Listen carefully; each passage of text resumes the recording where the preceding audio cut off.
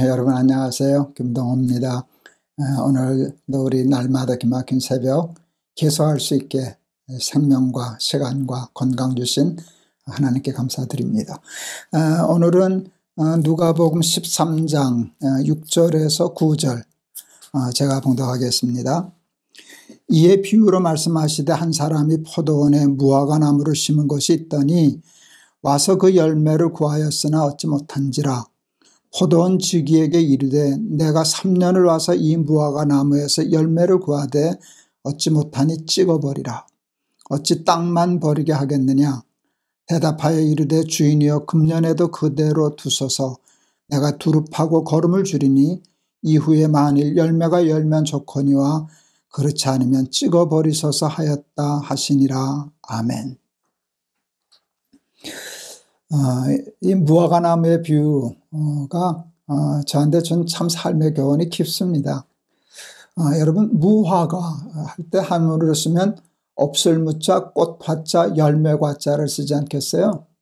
그러니까 그 뜻대로 얘기하자면 열, 꽃 없이 열매 맺는 나무라는 뜻이겠죠.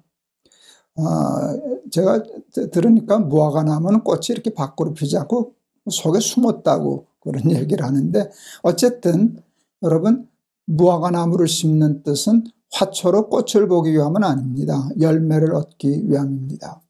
저는 이것이 우리의 인생과 아, 같다 하는 생각을 들었어요. 하나님이 우리에게서 꽃을 보려 하심이 아니라 아, 무화과처럼 삶의 열매를 구하신다. 그런데 우리 사람들은 하나님께서 원하시는 열매 맺는 일에는 삶에는 관심 없고 꽃 피우는데 정신 다 팔려서 화류계처럼 살아간다 하는 생각을 깊이 하게 되었습니다. 아, 인생은 꽃이 아니에요. 우리 사람들은 자꾸 인생을 꽃 피우려고 그러는데 잘못 살면 열매 없이 그런 데 저거 하게 되면 우리의 삶이 화류계 인생이 되겠구나 하는 생각을 깊이 해서 그래서 화류계라고 하는 단어와 저는 무화과라고 하는 이 뜻을 잘 연결시켜서 하나님이 우리를 이 땅에 화초로 심지 않으시고 어, 열매 맺는 무화과 나무로 심으셨다 하는 생각을 깊이 하고 하나님이 나를 이 땅에 보내신 뜻이 무엇일까? 나를 통해서 맺으려고 하는 열매는 과연 무엇일까?를 생각하고 그 열매 맺는 그런 나무 되면 좋겠다 하는 생각을 깊이 하면서 살아가고 있습니다. 어, 제가 이제 암에도 걸렸고 이제 70도 넘었고 그러니까 시간이 참 아깝더라고요. 어, 내 인생은 이제 금관 그릇과 같은데 인생이 짧아졌는데 그러므로 내 인생은 남보다도 귀해. 허투루 살 수 없지. 세월을 낭비할 수 없지. 어, 추하게 살 수 없지. 아름답게 귀하게 살아야지. 그래서 제 삶의 목표를 beautiful landing이라 그랬잖아요. beautiful landing. 아, 아름답게 soft landing 무사하게 착륙하는 정도가 아니라 근사하게 착륙할 거야. 근사하게 착륙하기 위해서 제가 늘 몰두해야 될 일은 이 무화과 나무에 비유해요. 하나님이 나를 이 땅에 심으신 뜻은 내 나무에서 맺기를 원하시는 따기를 원하시는 열매가 있는데 그 열매가 무엇일까?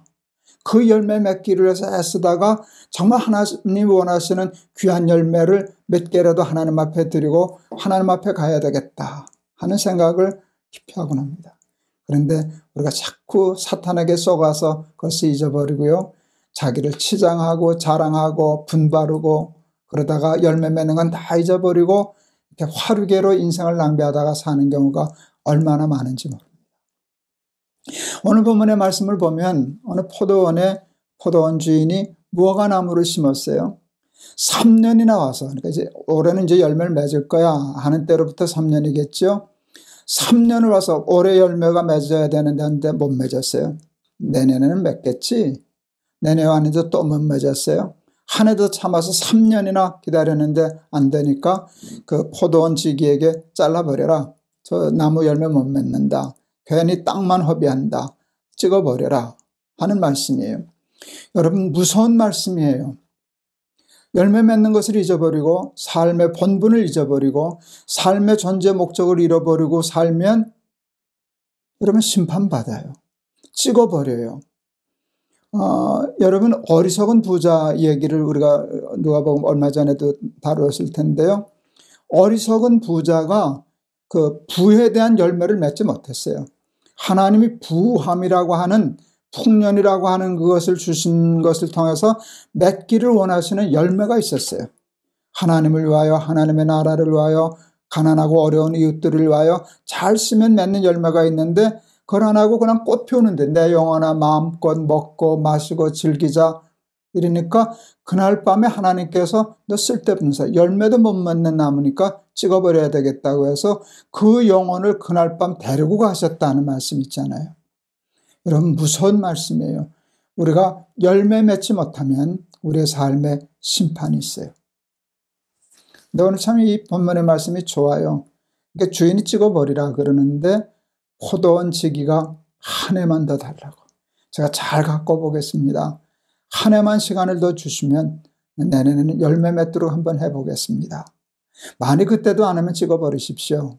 그랬다는 말씀입니다. 여러분 여기 포도원 어제 포도원 지기는 누굴까요? 무화과 나무는 누굴까요? 둘다다 납니다. 여러분 무화과 나무도 나고 나를 가꾸고 책임 열매 맺게 하게 하는 포도원 지기도 납니다. 하나님이 나를 심판하시려고 할 때 하나님 한 해만 시간을 더 주십시오. 이렇게 살지 않겠습니다. 정신 차리고 살겠습니다. 열매 맺고 살겠습니다. 라고 하는 어떤 회개의 기도와 같은 말씀이어서 참 얼마나 귀한 말씀인지 모릅니다. 어, 김원식이라고 하는 시인이 계셨어요. 어, 꽤 오래됐는데 그분이 명동의 그리스도라고 하는 시집을 쓰셨어요. 어, 지금은 아마 구하기 좀 어려울 겁니다. 김원식 시인이 쓴 어, 명동의 그리스도라고 하는 시가, 시집이 있는데 제가 그 시집에 있는 시들을 참 좋아합니다. 거기에 그 시집에 추수감사절이라는 제목의 시가 있습니다. 오늘 그 한번 여러분 읽어드리고 싶어요. 아, 이게 오늘 본문 설교하고 딱 맞는 시 같아서 한번 읽어드리고 싶습니다. 사람이 죽으면 씨앗이 되고 60배, 100배의 열매가 열고 살아있어도 그렇게 죽어 사는 사람들이 있다는데 나는 이렇게 어설프게 살고 있다. 돌짝밭 같은 빈 가슴, 입 없는 가지에 바람이 불면 빈 잔을 들고 낙엽을 밟고 가는 사람들을 따라 나도 간다. 내가 살아간다는 것은 채무가 늘어간다는 얘기가 된다. 빈잔이 늘어간다는 얘기가 된다. 빈잔을 놓고 드리는 기도, 기도 속에 고향이 담겨온다. 아버지의 음성이 들려온다. 아버지와 함께 가꾸던 과원에서 아버지가 들려주시던 성구. 한 해만 참아주시면, 정령 한 해만 참아주시면. 아, 우리들이 이 시인의 마음을 가지고 살아야 되지 않을까. 하는 그런 생각을 했어요. 우리 예배서서에도 보면 어, 어리석은 자가 되지 말고 지혜 있는 자 같이 하여 세월을 아끼라 하는 말씀이 있어요. 우리가요 세월을 자꾸 낭비해요. 세월을 낭비해요. 어, 그제 빠삐용이라고 하는 영화 있었잖아요. 저는 그 영화가 좋아서 한 서너 번 본 것 같아요. 음, 봤는데 그 주인공이 어, 억울하게 이렇게 죄가 없는데 아주 그뭐 그 바다에 둘러싸여서 탈출이 불가능한 그런 이제 감옥에 갇히죠. 그 감옥인데 이제 창살 있는 감옥이 아니라 거기 뭐 농사도 짓고 싶었는데 탈출을 못하고 하는데 이제 너무 억울하니까 어 그럴 때 꿈을 꿔요. 그때 무슨 뭐, 그뭐 저승사자인지 누군지 이렇게 검은 사람이 이렇게 나타나니까 항변에 나는 죄 없는데 이렇게 찾아왔다고 그럴 때 그게 아마 명대사일 거예요. 그 저승사자 같은 사람이 이렇게 얘기해요. 너는 유죄라고. 내가 무슨 죄가 있느냐 그랬더니 그때 그들이 이렇게 얘기해요. 너는 세월을 낭비한 죄가 있다. 세월을 낭비한 죄가 있다.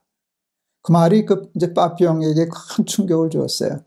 아, 가슴 뭉클한 그 감동적인 대사가 뭔가 하면 가만히 있다가 억울해서 펄펄 뛰고 그러던 빠삐용이 그 말을 듣고 가만히 있다가 이렇게 얘기해요. 나는 유죄입니다. 네, 수긍을 해요. 나는 유죄입니다. 그 대사가 그렇게 좋아서 그 빠삐용 영화를 제가 참 좋아했었어요. 너는 세월을 낭비한 죄가 있다. 열매 맺지 못하고 그냥 높아지려고 부자 되려고 자랑하려고 인생을 꽃피우려고 여러분 화류계처럼 인생을 그렇게 어, 살다가 하나님 앞에 아무 열매도 맺지 못하고 30이 되고 40이 되고 50이 되고 60이 되고 그러다가 병들고 하나님 앞에 드릴 아무것도 없이 허송세월한 우리가 큰 죄가 아니겠습니까? 여러분 이때 오늘 이 포도원 쥐기와 같은 마음으로 하나님 한 해만 참아주십시오. 정말 잘 살아보겠습니다. 땅도 파고 거름도 주고 해서 열매 맺도록 열심히 살겠습니다. 하는 그런 다짐과 아, 고백을 하나님께 드릴 수 있는 오늘이 되었으면 좋겠습니다. 그런 깨달음 가지라고 하나님 오늘 이 말씀을 주신 줄을 믿는데 여러분 요즘 무엇을 추구하면서 사세요? 무엇을 욕심내며 사세요? 꽃이에요? 열매예요? 여러분을 자꾸 자랑스럽게 드러내려고 하는 쪽으로 인생의 방향을 잡으셨어요. 나에게 하나님이 주신 소명을 따라 열매 맺는 삶에 관심을 가지고 사셨어요. 하나님 이제 정신 바짝 차리고 한 해만 더 허락해 주시면 열매 맺는 삶 살겠습니다. 이렇게 고백할 수 있는 우리 사랑하는 날개새 가족들 다 되실 수 있기를 주의 이름으로 축원합니다. 한번 기도하겠습니다. 사람이 죽으면 씨앗이 되고 60배, 100배의 열매가 열고 살아있어도 그렇게 죽어 사는 사람들이 있다는데 나는 이렇게 어설프게 살고 있다. 하나님께 우리의 삶의 고백입니다.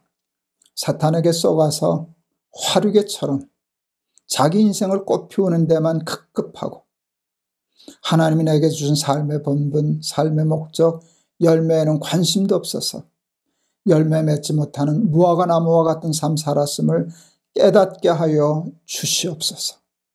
그리고 포도원 주인의 지기의 고백처럼 찍어버리려고 하는 주인의 손길을 붙잡고 한 해만 참아주십시오. 정령 한 해만 참아주십시오. 열매 맺는 삶 살겠습니다.